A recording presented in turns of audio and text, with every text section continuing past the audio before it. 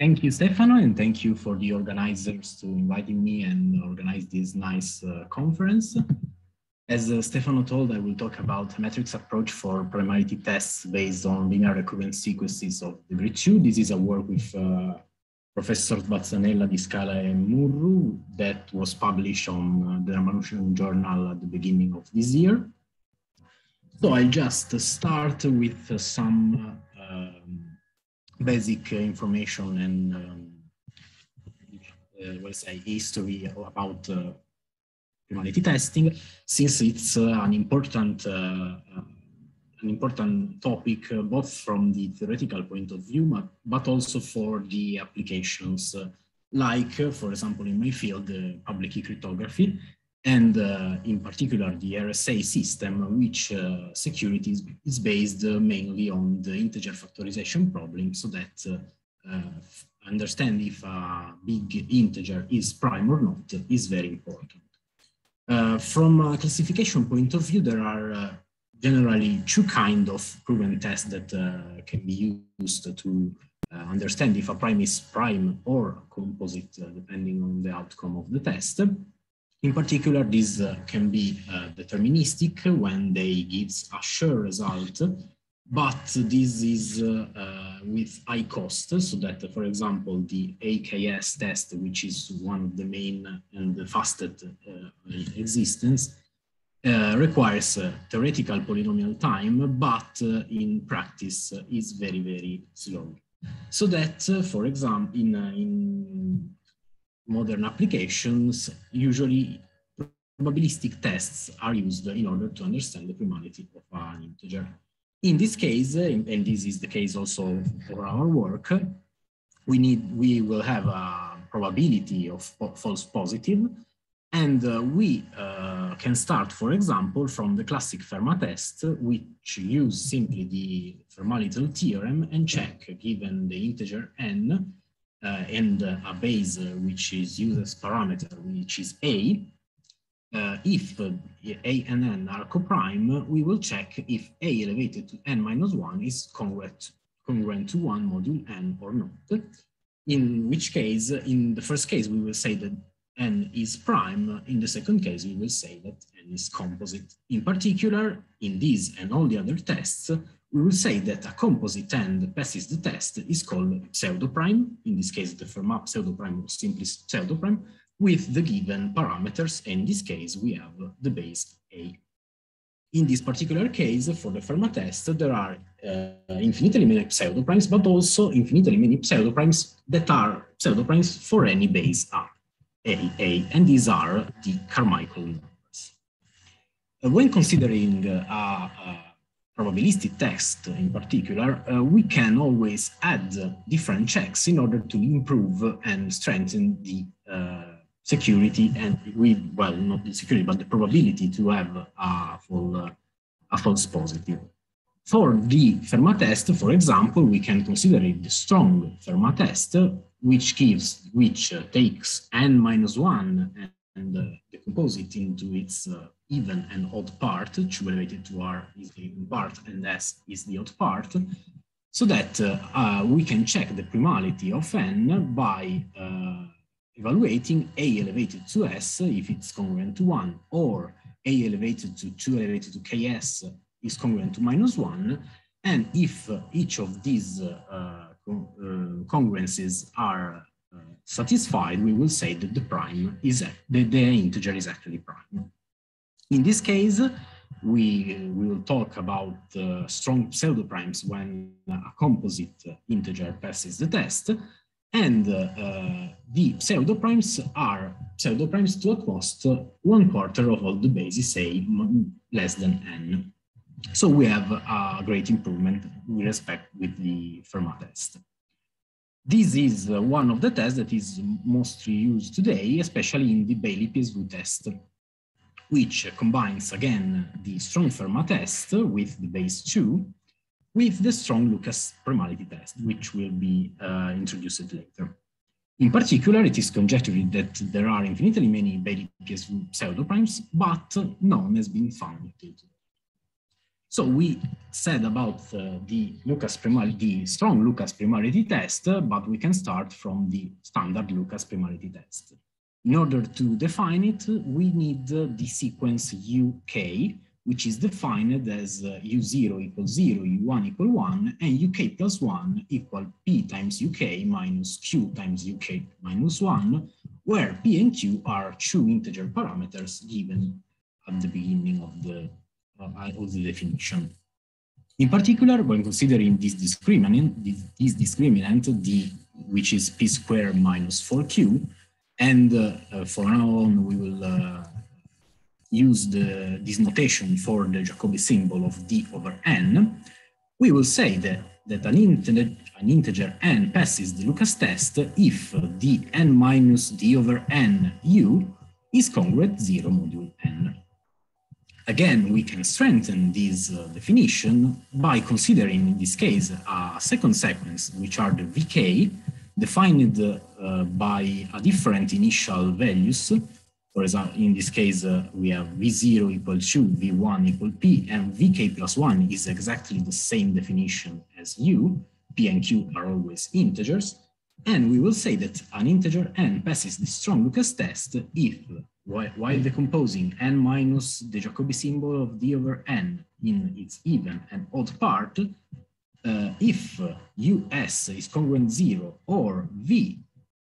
uh, the 2 elevated to ks v is congruent zero modulo n for some k less than r, we will say that uh, the, the integer n to be tested is prime. So this is the one used in the Baillie PSV test together with the strong Fermat test with base 2. Uh, one last part uh, from the literature is the Pell primality test, which uh, can be related directly to the Lucas test and exploit the Pell hyperbola. So, which is simply defined as the curve given by the couples xy with such that uh, x, uh, x square minus d y squared is congruent to 1 modulo n. In the case that uh, n is prime, we have a cyclic group of order n minus Jacobi symbol of uh, d over n. So by a generalization of the Fermat theorem, we, we will have with this product, which is the Brahmagupta product, and uh, we can apply the uh, Fermat theorem and obtain the uh, Pell tests, which is give, given by uh, two parameters that are three parameters actually, d and uh, the coordinates of a point, of an initial point uh, tilde x tilde y. And we will check if the n minus d over n y is congruent 0 modulo n, where simply this is the epsilon coordinate of the y coordinate of uh, the elevation used, using this operation. And this is actually the uh, Fermat theorem since we are elevating to the order of the cyclic group. In particular, I said that uh, this uh, test is related to the Lucas test since uh, it is possible to obtain a, a Pell a Lucas pseudoprime from a Pell pseudoprime. So every Pell pseudoprime which is obtained with parameters d and tilde x tilde y can be seen as a Lucas pseudoprime with parameters p equal uh, 2 tilde x and q equal 1 and in the other on the other hand, we have the Lucas pseudoprime with even p and q equal 1 is a Pell pseudoprime with d p square minus 4 and tilde x tilde y p half p and 1 half. So this ends the part of literature, and now we can introduce what we uh, what was our work. Firstly, we consider the uh, generalization, uh, well, a, a, stronger version of the Pell test, since uh, from the standard test, we only use the y, we can use also the x, and considering all these equation, which is simply what we call the strong Pell test. So we will check if the uh, x n minus d over n x and y are actually equal to tilde x and tilde y elevated to n minus the Jacobi symbol of d over n. And we will check if this uh, point is actually the identity point of the Pell cubic conic, which is 1, 0. And writing this form is uh, in matrices, we will obtain this particular equation where this matrix is elevated with the common uh, multiplication of matrices to n minus d over n. And we will check if this actually is 1, 0. So the generalization that we consider is uh, with a general linear recurrent sequences sequence of the degree two, so that we have two different sequences, u tilde k and v tilde k, obtained by elevating a matrix, a 2 times 2 matrix M, and considering only the first column, exactly as we did in this part. So the main result that we obtain is quite simple to uh, be proved, but uh, allows us to obtain some bigs, uh, some very, very strong primality tests. In particular, we, we say that given delta, the discriminant of the characteristic polynomial of the metric is considered for the uh, linear recurrent sequence, if P is prime and the determinant of M is not congruent zero module P, then we have two cases. When the square root of delta is invertible module P, then we can consider V tilde P minus one and U tilde v, P minus one and check if, and in, if P is prime, we have that this is congruent to one zero module P. In the other case, when the square root of delta is not invertible, we will check, uh, we will uh, have that tilde v p plus 1 and tilde u p plus 1 is congruent to the determinant of m 0 module p. The proof of this statement it's, uh, as I said, quite, quite easy since we can take the alpha and beta, the roots of the characteristic polynomial of m, so that m is similar to the diagonal matrix with alpha beta on the diagonal, and then we have that if the square root of delta is invertible, then also alpha and beta are invertible, and then we can apply the Fermat-Little theorem by obtaining that m elevated to p minus 1 is simply the identity matrix, so that when taking the first column, we will obtain simply 1, 0. In the second case, we will have that uh, the square root uh, is not, uh, of delta is not invertible, and we can apply the Frobenius, Frobenius morphism by obtaining that alpha elevated to p is b, is beta, while beta elevated to p is actually alpha. So that when evaluating m elevated to p plus 1 in order to obtain tilde v plus 1 and tilde u p plus 1, we'll, we'll have the MP is actually the same uh, element with the swap diagonal, and so we will have the determinant of M and in the third column, we will have actually the determinant of m and zero. This is a, a very simple result, but allows, for example, to uh, improve the Lucas test and obtain an analogous for the uh, Pell strong test. In particular, when simply considering this matrix, where P and Q are the integers uh, parameters which, which were used for uh, the Lucas test, we will have that uh, the two sequences are actually the same, but we can give a second check on the next uh, element. So that by simply applying the dilemma, we will have that if the uh, discriminant of the polynomial characteristic polynomial related to this matrix, which is the d, uh, is as roots invertible. So we have uh, that uh, the square root of p square minus 4q is in zn uh, times, which means that the Jacobi symbol of d over n is 1. Then we will check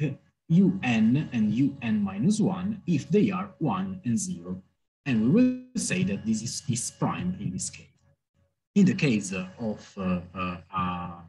a Jacobi symbol equal to minus 1, we will instead check if uh, un plus 2 and un plus 1 is q0, which is the determinant of this matrix. So that uh, we will have a stronger test uh, with respect to the classic Lucas test. And in particular, this is actually the strong Pell test, exactly with the same uh, similarities used before. In particular, we will have that uh, from the looks the double Lucas test, we will have, we will obtain the Pell test, the strong Pell test, by considering tilde x half p and tilde y one half. In the other sense, we have uh, that uh, p and q are obtained as 2 tilde x and 1 simply. So this is one of the possible tests that can be obtained by our generalization. In particular, uh, it is interesting to see that uh, for, while for the double Lucas test, we can fix the P and Q for any kind of N, in when passing through the to the strong Pell test, we will have different tests since the inverse of 2 depends strongly on n. On the other uh, on the other half, we will have that instead a strong Pell test uh, cannot take any kind of uh, parameters since they have to satisfy the equation, the Pell equation, and so we cannot fix the parameters for different. So in this case, in order to like test a lot uh, or a range of, param of uh, integers with fixed parameter, we can consider a parameterization for the points of the curve given in this way so that we can take R as Zn without the eventual roots of V if they are in Zn, and then consider this association between the parameter A and the points of the curve. In this, in this way, we will obtain uh, only two parameters, D and A, and we can pass from pass from the double Lucas test and the strong Pell test without concerning about changing the test every time. As I said before, we can obtain other generalized tests, and in particular, we consider always the Pell and the Lucas test and obtain two new uh, very, very strong tests. In the first case, we consider the generalized Pell-conic, which, uh, which is the same equation, but we, with the norm considered depending on parameter given q, where the product is still the same, and also the, the, the, the properties of this group is, are always the same, so that it's cyclic of order n minus d over n. The matrix construction we used before is still uh, is still valid, but now the determinant is actually q because we have x tilde x square minus d tilde y square. And we can define the generalized Pell test uh, by considering the two checks depending on the Jacobi symbol of d over n. In the case it is 1, we will check if tilde x and tilde y elevated to n minus 1 is 1, 0. Otherwise, we will check if, this, if uh, tilde x and tilde y elevated to n plus 1 is q0, where q is the determinant of the matrix. This is actually equivalent to the uh, double Lucas test with a general p with uh, a p exactly as before, so we will have 2 tilde x, but q in this case, while before it, it could be only 1, as seen here, in this case, Q can be generic and is actually the norm of the points in the curve. The last test that we consider is the generalized Lucas primality test. And uh, instead of considering the matrix P minus Q 1, 0, we will add a parameter R. This, is, this will give, uh, instead of only one sequence, uh, UK and UK plus 1, we will give, uh, this will give uh, uh, two sequences, tilde v and tilde u. In particular, tilde v is uh, the same obtained using the double Lucas test, but scaled of one step. The obtained test says that an integer n uh, is prime if, in the case that d, the discriminant of the matrix uh, of the um, characteristic polynomial related to this matrix over n is equal 1, then we will check tilde v n minus 1 tilde u n minus 1 if it's uh, 1, 0. Otherwise, we will check uh, tilde v n plus 1 and tilde u n plus 1 if it's uh, the determinant qr or n0. And in both cases, we will say that the integer is prime. D, as I said, is the determinant discriminant of the characteristic polynomial, so it's evaluated, evaluated as p squared minus 4qr. Now, uh, we studied a bit about the um, behavior of these tests, uh, starting with uh, fixed parameters. So these, uh, in order also to exploit the parameterization of the on the Pell uh, curve. In this, uh, in this slide in particular, we, there is a comparison between the Lucas test and the double Lucas test, uh, which actually works better since uh, it's uh, a strengthened version. And in fact, we have generally a lower number of pseudo primes in this case up to 10 elevated to 5. Some cases are still uh, behaves still similarly, but is normal since it, it really depends on the choice of the parameters. The very interesting results are instead in uh, the generalized Pell test and the generalized Lucas test, where when testing with different kind of parameter, we will also obtain some cases when, when there are no pseudo primes up to 10 elevated to 5. And in addition, we can also see, we, we also saw that uh, this test is independent on the choice of the sign of tilde x and tilde y. And uh, in this case, can be seen from the graphic, the number of uh, pseudo primes is very dependent on the choice, on the choice of the parameters. The generalized Lucas test behaves similarly, but uh, in particular, we can uh, we can, we can see that uh, it is independent on the sign of P and also on, on the sign of Q and R if uh, the sign of their multiplication remains unchanged. And again, it's very, very um, depending on the choice of the parameters. But the very, very interesting uh, results are obtained when considering changing uh, parameters, in particular while adapting the Selfridge method which uh, was uh, used to choose the parameters for the Lucas test, depending on the integer n to be tested. So that we will take d as the minimum in this list, such that d over n is minus 1, and then we will set p equal 1 and q equal 1 minus d uh, divided by 4. This is a classic way to choose the parameters and gives uh, what is commonly called the Lucas pseudo prime series, so that we have this uh, with this OEIS, OEIS uh, uh,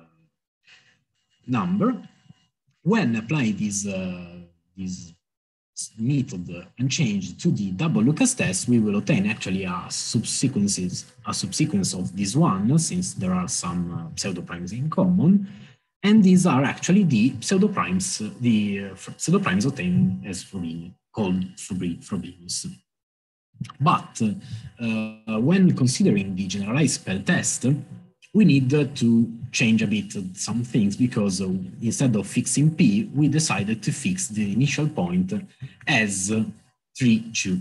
which uh, from the experimental ways uh, is very, very uh, promising. And indeed, we will take the same uh, sequence for the Ds, so we take the minimum D in this sequence such that d over n is equal minus 1, evaluates the n plus 1 uh, x and y starting from 3, 2, and check if x plus 1, n plus 1 is 9 minus 4d, which is the determinant of this matrix, and y, n plus 1 is 0, in which case we will say that n is prime, otherwise we will say that n is convolute. And the, and the interesting thing is that uh, while using this method, we test all the now the integers, uh, at least the odd integers uh, minor than uh, uh 2 elevated to 38, and no pseudo primes were found. We also adapt the Selfridge method to the uh, generalized Lucas test. In this case, we will again fix p equal to 1, but we also fix r equal to 2, so that we have to change the range of the d in order to be able to evaluate the q as a fraction, as, a, as an integer uh, re, resulting from a fraction, so that d is taken as the minimum among these numbers, such that d over n is equal minus 1. Then, as I said, p is set equal 1, q 1 minus d over, uh, divided by 8, and r is equal 2. The test then uh, evaluates the two sequences, tilde v and tilde u, as the n plus 1 uh, power of the matrix 1 minus q, 2, which is r, and 0, and then checks if the uh, first column obtained, which are the n plus 1 v tilde and n plus 1 u tilde, are 2q, the determinant of the matrix, n 0, in which case the, the integer n is uh, declared prime. Otherwise, again, as for the um, generalized Pell test with the Selfridge method, also in this case, no pseudoprimes were found before uh, 2 elevated 38. I will uh, give my conclusions. Actually, I'm time uh, maybe even earlier, but uh, um, Actually, as, uh, as, I, described, these are very, very strong primality tests, uh, despite the uh, lemma is quite easy to obtain. But uh, uh, these are only two of the possible generalization. We decided to focus on two, uh, one more classic, the Lucas test, and one related to the Lucas test, the Pell test. And the results are very promising, especially when using the Selfridge method. In addition, we also combined, as in the Baillie PSV test, the strong Fermat test with base 2 with our two, two tests, and in both cases, uh, no pseudoprimes were found up to 2 elevated to 64.